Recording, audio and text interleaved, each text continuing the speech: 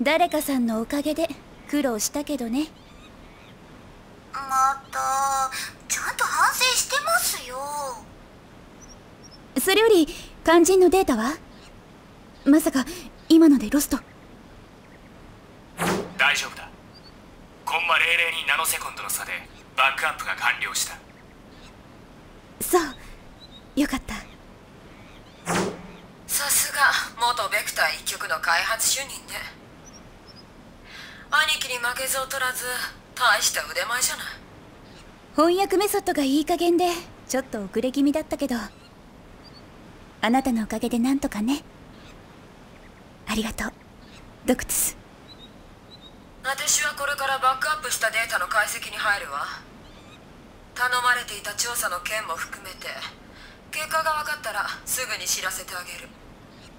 よろしく。データの転送頼むわよ。レアリエ。カナンだ。お前のメモリーには欠陥があるようだな。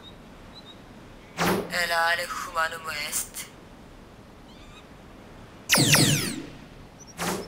あのー、先輩もしかして怒ってます？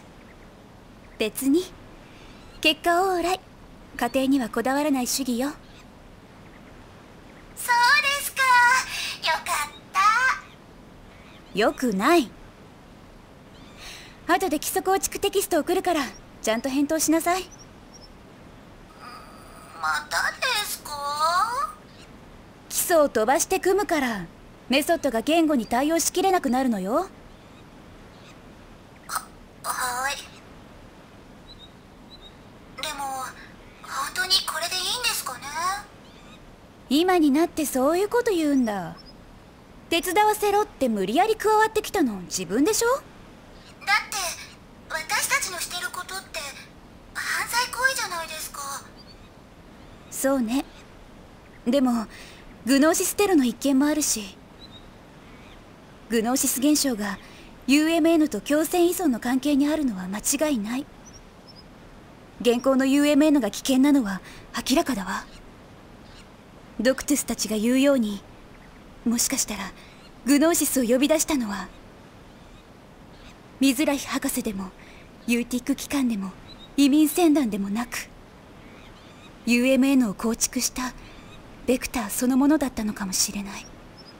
もしそうだとしたらコスモスの開発だって何か別の目的があったのかも。だからミルチア紛争のこともスキエンティアに調べてもらってるんですか？お父さんがそれに関わっていたかもしれないから。わからない。でもこのままじゃいけないと思うから。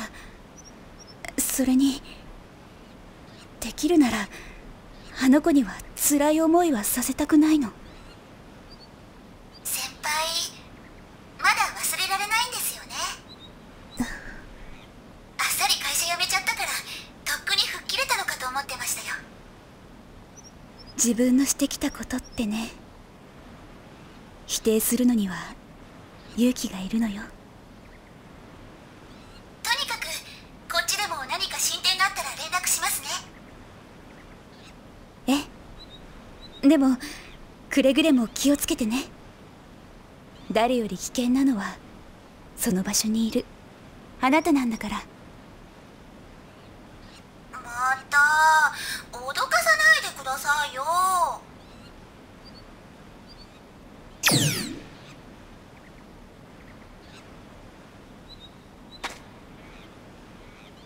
ネピリム。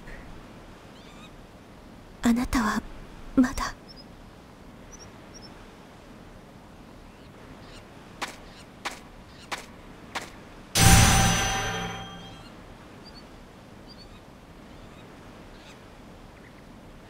またか。最近多いわね。疲れが溜まってるのかしら。